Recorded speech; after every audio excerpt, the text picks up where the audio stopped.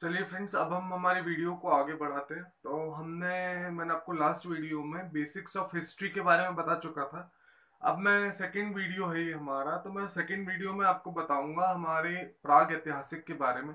तो प्राग ऐतिहासिक काल मध्य प्रदेश में स्टार्ट होता है कि जब से हमारा साउथ एमपी और नॉर्थ एमपी मतलब उत्तर मध्य प्रदेश तथा पश्चिम उत्तर और दक्षिण मध्य प्रदेश के बारे में, जब से हमारी सभ्यताएँ शुरू हुई, हमारा व्यापार शुरू हुआ, जब से हमारे हथियार वेपन जो मिले उनका संगम हुआ तो जो ये बात स्टार्ट होती है हमारी 5 दिसंबर 1982 को हमें सबसे पहला साक्ष्य जो मिला था, वो मिला था हमारे सीहोर ज़िले के हथनौरा गाँव में, जहाँ पे हमें एक मानव कंकाल मिला है, जिसके बारे में ये बोला गया है कि ये नर्मदा नदी के किनारे मिला है और सबसे पुराना सबसे पुराना कंकाल है ये जिसकी हमें बोला गया है, इसका नाम दिया जो गया है, वो था, वो है अभी मतलब उसको बोलते हैं हम नर्मदा मानव। तो उसका नाम नर्मदा मानव है।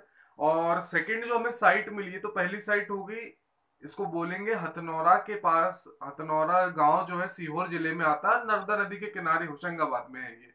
ठीक है, और सेकंड जो मिला था, वो भूतरा मिला है, हमारा नरसिंहपुर के पास। और ये स्टोन एज के समय का था यहाँ पे खाने, यहाँ पे संसाधन मिले हैं हमें। और तीसरी साइड जो है सीधी है, शहडोल है, जबलपुर है, और सागर है, और मालवा और निमाड़ के क्षेत्रों में हमें ये चीज़ें मिली हैं। जो मतलब पैलियोलिथिक के टाइम की पैलियोलिथिक हमारा मतलब प्राग ऐतिहासिक काल की, समय की चीज़ें हैं ये। तो मैं नेक्स्ट वीडियो में आपको बताऊँगा कि मैसोलिथिक के टाइम पे हमें आग ऐतिहासिक के समय हमें क्या क्या चीज़ें प्राप्त हुई है। So friends, thanks for watching the video and uh, please like, share and subscribe to our YouTube channel.